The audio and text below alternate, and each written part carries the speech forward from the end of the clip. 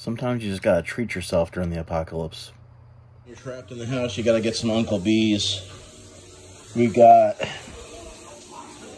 don't remember which one. Garlic parm, sweet chili, buffalo. So this was the curry ones. Super spicy.